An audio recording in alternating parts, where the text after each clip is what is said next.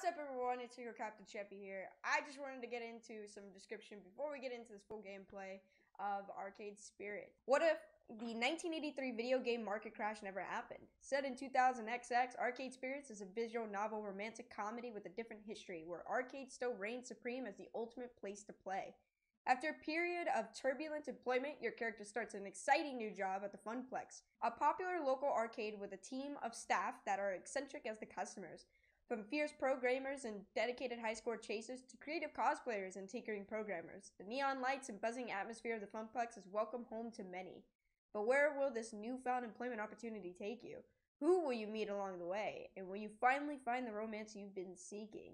So that's why Arcade Spirits is a visual novel, but not just any visual novel, actually. Arcade Spirits also has dating simulator elements with seven different characters who can be romanced or just befriended. Romance is completely optional in this game. You don't actually have to do it at all if you don't want to. Uh, nearly all dating simulators require you to undertake some kind of mandatory romance encounter, but uh, arcade spirits that is actually unique in the genre that you don't actually have to at all. It's one of the parts of the game. If you want to be in the romance, if you want to get all romanced and everything like that, then you're more than welcome to. But this game isn't all revolved around that, which I find that is pretty cool actually. Thank you guys, and I hope you guys are gonna enjoy this video. I really want to say thank you to Arcade Spirits for giving me an early access code and being able to stream this and actually be able to make videos on this game. It's a really great pleasure to have the opportunity to play this game and especially to show you guys what it's like to play this game just so then you can see for yourself. But I will say make sure you choose your own choices and don't just follow mine just so that you could get a different ending. Because like I said, depending on the choices you make is a different ending for everyone. So make sure you go ahead and do that. And again, I really want to thank Arcade Spirits for giving me the opportunity to play this game uh, before it was fully released on for consoles. It was an amazing opportunity, and thank you so much. But guys, let's just get into the video. So I guess I'll see you guys in the video.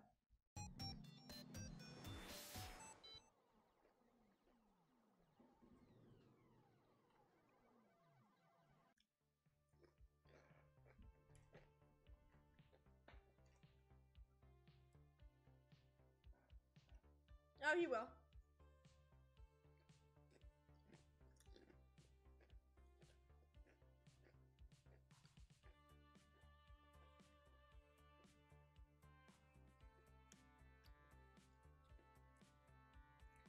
It is the distant year 20XX. For the first time, I'm extremely in control of my destiny. I'm no longer merely working in an arcade, now I'm working on my future.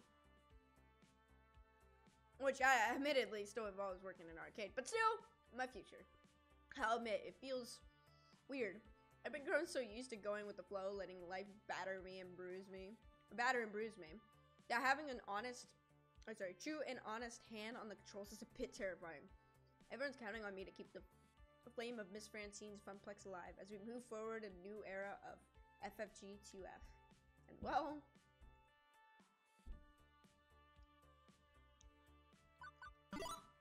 I'm going I'm going into this assuming everything's going to work out just fine.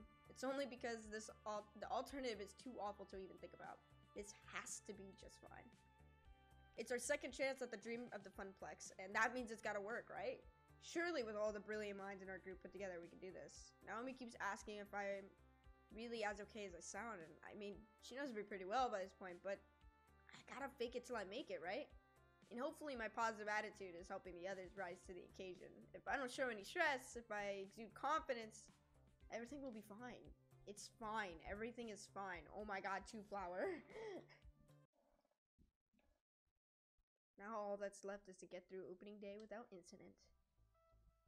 I arrived early that morning to go over my last minute preparations and make sure everything is in order. Plus, Juniper was sick of watching me pace back and forth at home after breakfast, so she lovingly shoved me out of the apartment and told me to be productive. Now I stood in awe of the building, a dream I poured my heart and soul into. I still barely believe in myself. Paused a moment to let the reality finally hit me, and then stepped into my destiny. Nice.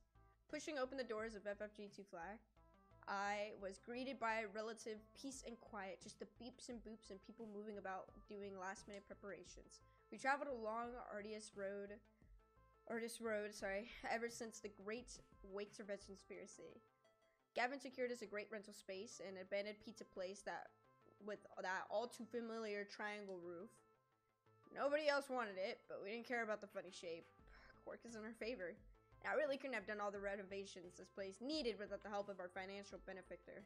Percy gave up a large chunk of his savings for this. I hope we could do right by him. Considering it was going to be charity origi originally, now it's going to be us. We went to a familiar layout, and if it ain't broke and all that, to show that we still got the spirit and passion that made the Funplex great. But it's not all a carbon copy. We got a few new additions that Francine would even be proud of. Oh, that's dope. The video wall is a nice touch. That one was my idea. It's alternate alternates between running music videos, game promos, and high school leaderboards.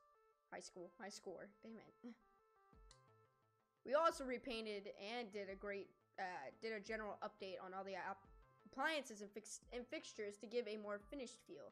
Less of a retired pizza place turned arcade vibe. Naomi and Percy worked together to pick out games with a decidedly retro feel, considering Gecko's focus on ticket, tickety, gamblishing, gambling-ish games. This helps us stand out from the competition. She put in a lot of hard work restoring them, and truthfully, we've run into a lot of problems along the way, but Watching her tirelessly work to perfect them is inspiring. As for Queen Bee's experiment into advanced streamer support, well, I'm sure, I'm unsure of how this will pan out, but she's confident in it. Such confidence is contagious. She invited a few big name streamers to drop in on opening day and broadcast from their makeshift little studio. That'll build up some buzz for the arcade far and wide. All of my choices, all of my decisions, all of my choices made this. Made FFG2 Flower what it is. So much labor and love went into this project from all of us, and now all that's left is to officially open these doors. But before the fateful hour begins, I still want to do one last check of operations, just in case. Since we opted for a basic arcade, honestly, setup was a breeze. Naomi and Ashley worked together to get the games up and running. Ashley managed to impress Naomi when she pulled out her long forgotten skills with electronics. Naomi seemed to be busying herself with a double, triple, and even quadruple checks on every game prior to opening. Check that booty. She's been busy, uh, she's been busying herself, doubling, tripling, and even quadrupling checking every game prior to the opening. Not that I mind or anything. You know. Hold on.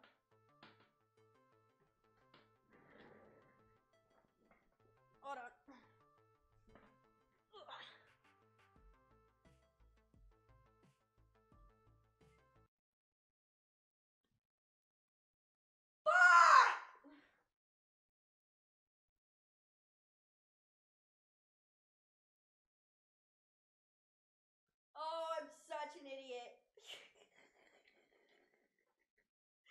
oh, I'm such a fucking idiot. Guys, I fucked up.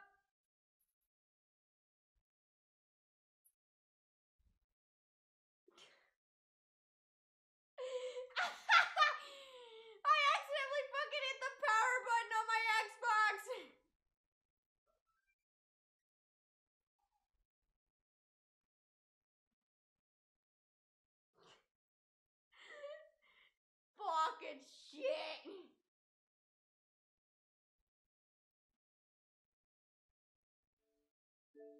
Oh my god, I'm such a fucking idiot. I just really wanted to check out that booty and it really fucking, it really just fucked me, huh? What I get. What I get for subjecting her. Constantly subjecting her. I cannot believe that. Is Michael not on stream anymore? I only see one viewer, and definitely Sora saw that. But Michael would have immediately started deading me. Fucking shit. Oh! What? Is still up?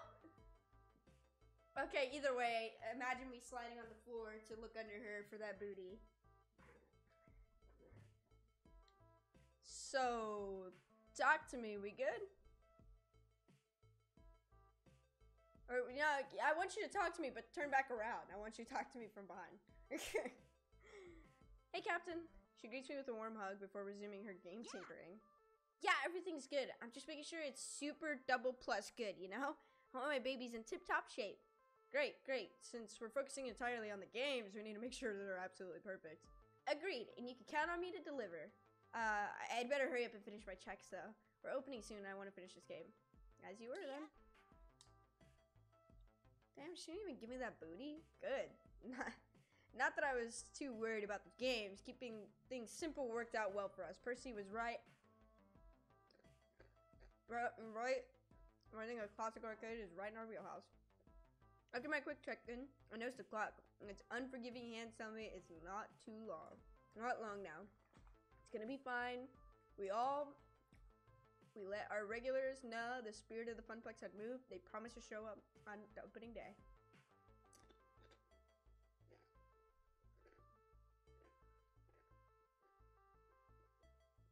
Advertising, flyers, interviews with arcade fan sites, and podcasts. People will show up, and then we'll be fine. We can do this. As long as no unforeseen problems pop up. Captain, we've got a problem. Gavin, we're minutes from opening the doors. Unless the building is literally on fire. Is there something that can wait? Unfortunately, no. Naomi may have put FFG2 Flower in jeopardy. Don't listen to him. He's worrying over nothing. Seriously? Yes, I'm certain that the lawyers would just pack up and go away once you tell them that the whole thing is worrying over nothing. Ugh, it's just a penguin. Who cares? Even if someone cares, who's gonna know? Come on, Gavin. Why do you have such a spit? Why do you have to be such a control freak over every little detail? The devil is in the details, and thanks to your actions, we're gonna end up sued to heck and back. Hell and back, sorry. Where I, where I'm sure you can plead your case with the devil himself.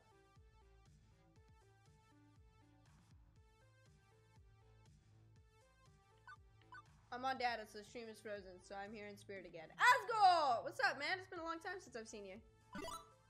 I have no earthly idea what this is about. I'd rather like to have an earthly idea what this is about. Please, just explain. Fine, fine. Gavin, you tell her. Then I'll explain why you're wrong. Gavin rubs out his temples, feeling a headache coming on. Naomi wants to put her Pango up front. I don't think it'll earn any tokens, but I'm willing to let that go in the spirit of compromise and to support her dream.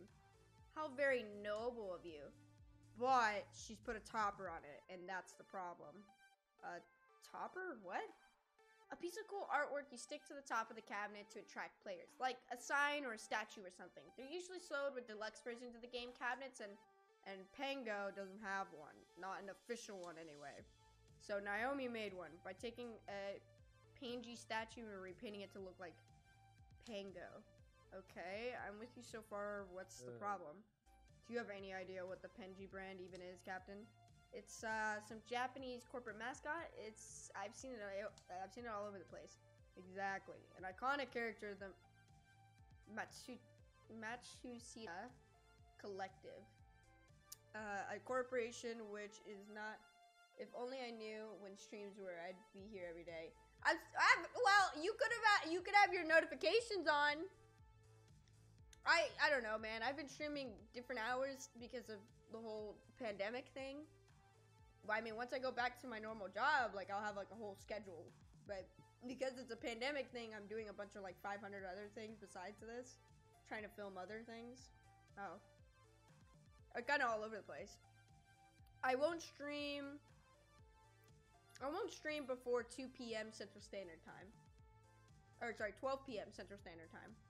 If I do, there has to be like a really good reason for it, but before that, no. So anytime after 12 p.m. Central Standard Time, and the latest I will start a stream is probably 8 p.m. Central Standard Time. So you just have that eight-hour window to just like look. You just look on and off for it.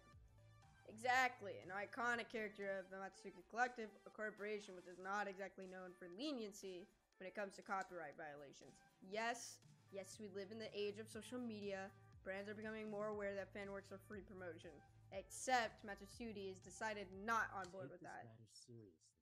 I've heard tales of them suing children's daycare centers just to unlicense Penji decorations on their wall. They've driven people into the poorhouse for pirating Penji anime. And now Naomi has doomed us all by defacing the idol of a vengeful god capitalism to make her precious fake Pango statue. We're gonna be sued into the ground the instant photos of that surface online. Oh, uh exaggerate much, Gavin? Come on. Some company over in Japan isn't gonna give a crap about a red penguin on top of their art on top of an arcade cabinet in a little place like ours. No one's all intended for the FFG two flower, of course, but we are small time. So what if they find out? What if they get mad? We just apologize and take it down. Come to think of it, I guess I know more about Penji than I thought I did. Penji is so universal, so per pervasive that it's like background radiation. I don't even notice the I don't even notice the character. But I've heard, but I have heard stories Gavin talked about. Generally speaking, it don't end well for the little guy, and we're the little guy. Really, really should talk to Naomi out of this. Gavin doesn't argue just to win. He only argues when he believes there's a point he's trying to make. He believes we're in danger.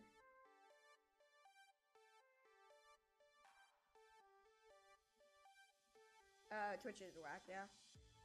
Uh, I'm glad that I don't have to decide between the two. That's great. But how am I gonna lay this down to her? Do we listen to reason? It's too risky. Maybe we can compromise on this somehow. I think the first one is the only one. The second one is just like kind of being like it's something she doesn't want to hear. We all thinking we all we all thinking one.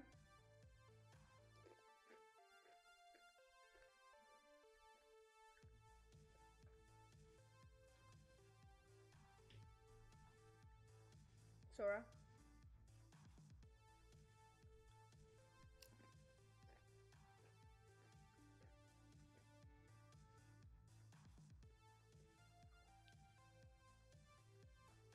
Thank you, Sora. Naomi, I'm sorry. I know you love your game, but Gavin's right. We can't risk a lawsuit. But, but, oh no.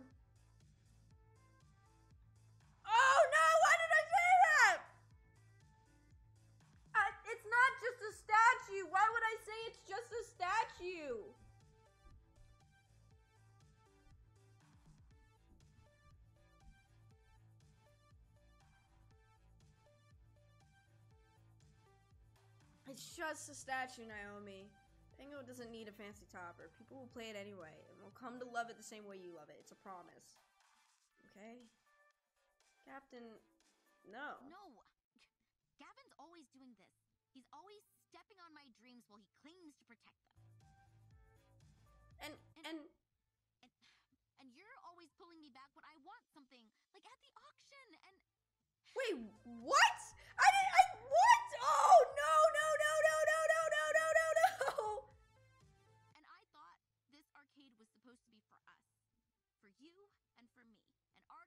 Our dreams just like it was for Miss Francine and her husband. Ah! Why is this happening? I'm not saying that. Arcade too.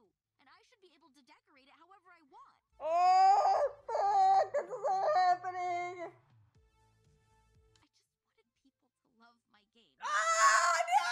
Well, well, fine. Take down the penguin. See if I care.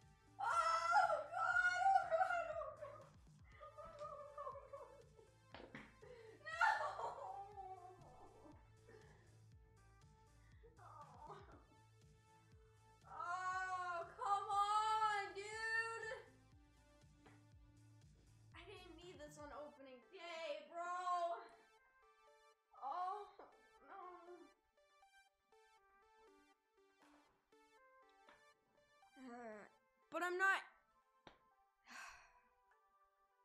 No, it's no helping it.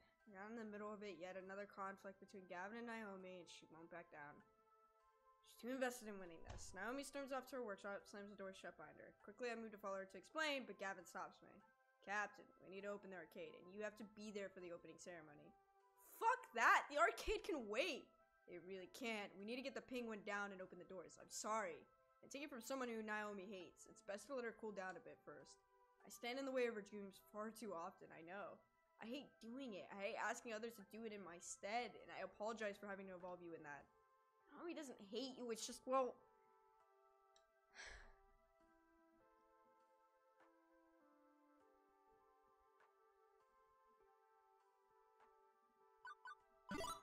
You're both perfectionists. You want things to be absolutely right, as you see it. But the as you see it part is the problem. She's fighting for what she thinks is right, same as you. You've got more in common than you think, but it leads to situations like this, so it's a bit of an impasse. I feel I still feel removing the penguin is the right thing to do. I can't back down on that. But that doesn't mean we need to be ad- adversarials. Plenty of blame to go around in this instant, including my own. And I suppose my insistence that we focus on her uh, least favorite kind of game, prizes, and ticket redemptions has not helped the matters. Clearly, I need to speak with her more, try to understand her on her own terms. Perhaps I've been avoiding directly addressing this conflict for too long. But I feel she'd rather see neither of us at the moment, perhaps later, after the opening ceremonies are complete. Apologies. For now, I'm afraid we need to tend to our arcade first and foremost. Excuse me.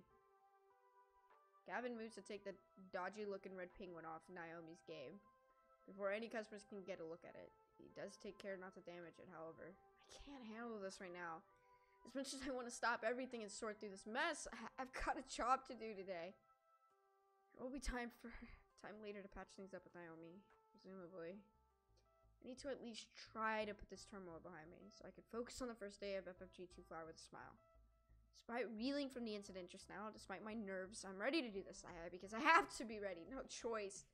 I've got big plans for the opening ceremony. I'm going to open the doors, give my prepared speech to the gathered masses, and stay on hand to greet gamers as they enter. Stepping to the forefront, I grasp the door's handles and throw the gates of the FFG 2 flower wide. Welcome, welcome to all. I hope that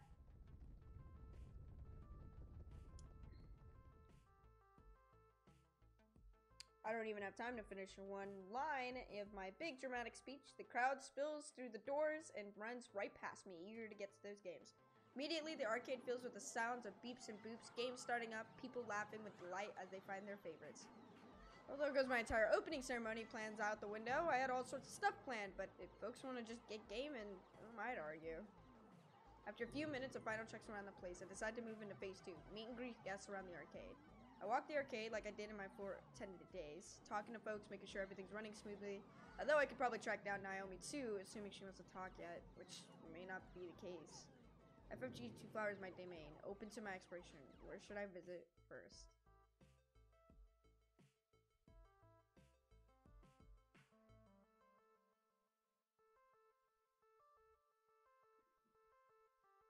Mm, I'm gonna I'm gonna give a second for Naomi. I yeah, I feel like I need to. Okay, so just trust me on this one. Since we decided to stick with the basics, there aren't too many places to hang out and not play games. It's all games all the time. Surprisingly, Percy and Gavin have found a quiet corner near the change machine. Tanked, completely Much tanked. obliged.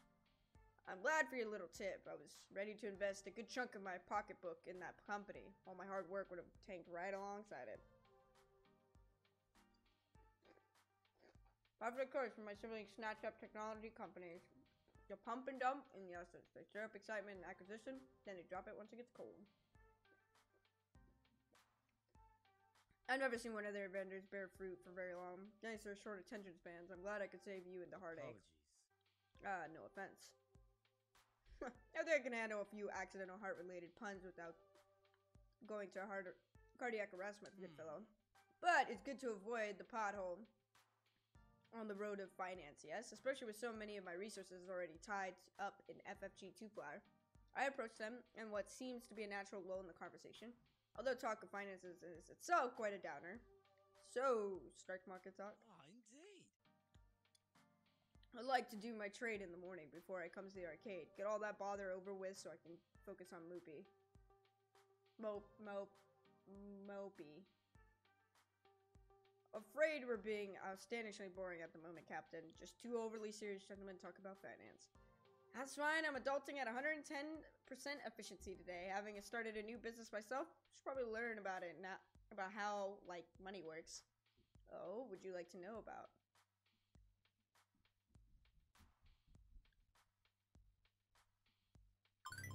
Like, I'd like to invest in our future. Think long term, you know?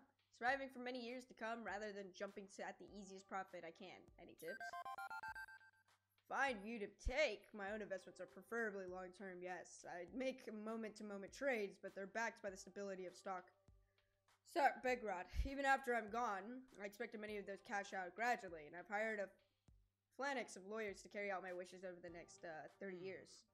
Gavin, how about I show you my portfolio? Give you some ideas on how to build up the nest egg of FFG2 Thank I'd be honored. I'd let you two. I'll let you two handle the fine details. The two sink deeper and deeper in a conversation about currency exchanges, fiscal policy, tax rate changes, and I start to lose consciousness. I admire their passion, but there's still only so much adulting I can handle in one day, and I need to reserve some for later. It's then that I notice the customer having some problems with the change machines. Frowns as she swipes her card through the slot, and again and again, the little red error light popping each time she does oh, so. Man.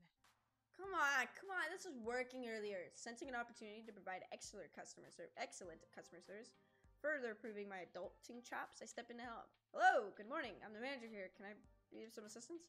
She looks awfully familiar. Have we met before? Oh, right. I invited her to check out my arcade, didn't I? Guess that's why What's she's up? here. Hey, hey, good to see ya. Love what you've done with the place. Just love it.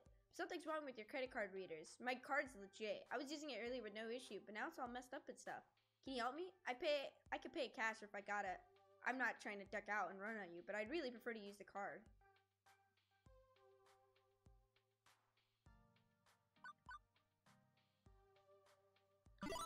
Fortunately, I happen to have an expert in all things digital in my employ. Uh, she can clear up your credit card problem nice and quick. Oh, Iris? Online. Sure thing. Miss, can you please swipe your card across my screen? This takes a customer by surprise. She hesitates briefly before doing as asked. Right, you have an iris, I remember that. Now processing. Please enjoy the recorded music. Bad command or file name? Huh, that's odd. It says your card was declined. Cancelled No even. helping it. I'm sure this is just a misunderstanding, but whatever. I've got cash. Plenty of cash. It's no problem at all. I'll take care of myself. Thanks for trying. She quickly goes about her business, using a fistful of ones and various bits of change to pay her way through. She's really eager to get out of here, actually. That's odd. Really odd. I Might need to keep an eye on that one. Hey guys, sorry about the abrupt ending. It's just that I live streamed this and I'm trying to do 30 minute segment videos just so I could put this on the YouTube page and you guys could get a full playthrough of the game. I'm trying not to cut out anything, so sorry if I missed something. I will probably go back or something like that. But yeah, so I hope you guys enjoy. Again, I want to say thank you to Arcade Spirits for letting me play their game early. And if you guys want your own copy, then make sure you go ahead and go buy it because it's now available for the Xbox One, PS4, and now the Nintendo Switch. Go buy it. I don't know what you're waiting for. But I hope you guys enjoy, and I guess I'll see you guys in the next episode, which will come out tomorrow. So thank you guys so much for watching. And I just want to say that this is your cat, the Chefy speaking, and I'll see you guys next time. Bye, guys.